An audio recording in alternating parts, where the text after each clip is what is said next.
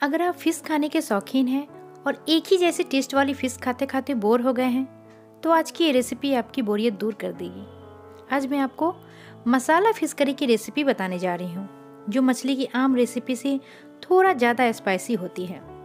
लेकिन इसके ज़बरदस्त स्वाद का लुत्फ उठाने के लिए इसे बनाने का सही तरीका पता होना चाहिए। तो आप भी अगर स्पाइसी फ़िश करी के लजीज स्वाद में डूबना चाहते हैं तो इस वीडियो को लास्ट तक देखिएगा। अगर आपने सारे स्टेप्स को सही से फॉलो कर लिया तो आपकी फ़िश करी इतनी जायकेदार बनेगी जिसकी हर कोई तारीफ़ करेगा। तो शुरू करते हैं आज की ये रेसिपी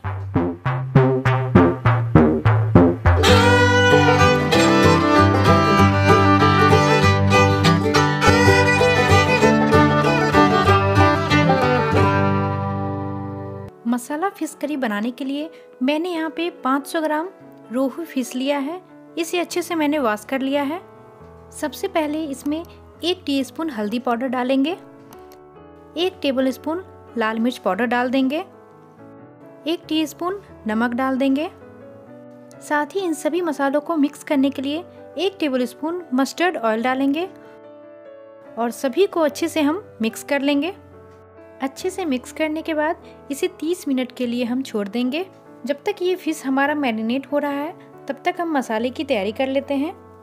तो इसके लिए एक पैन गर्म करेंगे और पैन में एक टीस्पून सौंफ डालेंगे। साथ ही एक टेबल स्पून साबुत जीरा डालेंगे और तीन लाल मिर्च डाल के लो फ्लेम पे हम इन सभी को भूनेंगे। इस तरह से भुना हुआ जो मसाला हम तैयार करेंगे, उन मसालों से हमारी फ़िश करी बहुत ही टेस्टी बनेगी। तो ये मसाले हमारे भुन गए हैं। तो इन्हें हम ठंडा कर लेंगे। ठंडा करके एक बॉल में डालेंगे। इन साबुत मसालों के अलावा हम सात से आठ लहसुन की कलियाँ लेंगे, दो हरी मिर्च लेंगे, एक टीस्पून हल्दी पाउडर लेंगे, एक टेबल स्पून धनिया पाउडर लेंगे वन फोर्थ टीस्पून काली मिर्च पाउडर लेंगे, स्वाद के अनुसार नमक लेंगे और इसे हम ग्राइंडर में डाल के बारीक पीस लेंगे। तो मसाला फ़िश करी बनाने के लिए हमारा ये मसाला रेडी हो चुका है और उधर हमारा फ़िश भी मैरिनेट हो गया है तो हम फ़िश को फ्राई कर लेते हैं। वापस से पैन गर्म करेंगे और उसमें कुकिंग ऑयल डालेंगे। ऑयल गर्म हो जाने पे फ़िश के सारे पीसेस को डाल के हम सैलो फ्राई कर लेंगे। फ़िश हमारा एक साइड से फ्राई हो चुका हो तो हम इसे पलट देंगे। दोनों ही साइड से हमें फ़िश को अच्छे से फ्राई कर लेनी है। तो ये फ़िश हमारे फ्राई हो चुके हैं। इस तरह से हमें फ़िश फ्राई करनी है।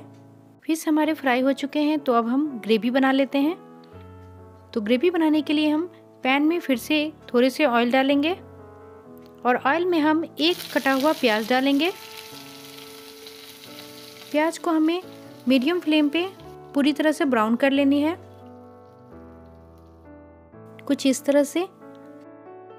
प्याज हमारे ब्राउन हो चुके हैं तो इसमें हम पिसा हुआ मसाला डाल देंगे और इन मसालों को हम लो फ्लेम पे भूनेंगे। मसाला जितनी अच्छी से भुनेगा, उतनी अच्छी हमारी ग्रेवी तैयार होगी। और साथ ही हम यहाँ पर एक बड़े टमाटर कट करके डाल देंगे। आप चाहे तो टमाटर को मसालों के साथ भी बारीक पीस सकते हैं या फिर बारीक चॉप करके भी डाल सकते हैं। एक टीस्पून यहाँ पे हम कश्मीरी लाल मिर्च पाउडर डालेंगे ताकि हमारी करी का कलर बहुत अच्छा दिखे। एक टेबल स्पून के करीब हम यहाँ पे कसूरी मेथी क्रश करके डाल देंगे और 10 से 15 हम यहाँ पे करी पत्ता डाल के भून लेंगे। कसूरी मेथी और करी पत्ता का स्वाद ग्रेवी को बहुत ज़बरदस्त बना देगा। तो इसे आप ज़रूर डालें, ये बहुत टेस्टी ग्रेवी बनती है इससे। तो इन मसालों को हम लगातार चलाते हुए भून लेंगे। ये मसाले हमारे भुन चुके हैं तो इसमें हम करीबन एक गिलास पानी ऐड कर देंगे। मीडियम फ्लेम पे हम ग्रेवी को थोड़ी देर और पकाएँगे। और ग्रेवी में देखिए, ये अच्छे से उबाल आ गई है तो हम फ़िश के सारे पीसेस को इसमें डाल देंगे। फ़िश बनके हमारा रेडी हो चुका है तो थोड़े से हम धनिया पत्ता डाल देंगे। तो ये लाजवाब फ़िश हमारा रेडी है तो आइए इसकी प्लेटिंग कर लेते हैं। आप देख सकते हैं फ़िश कितनी अच्छी बनी है। और ग्रेवी की कंसिस्टेंसी भी बहुत ही अच्छी है।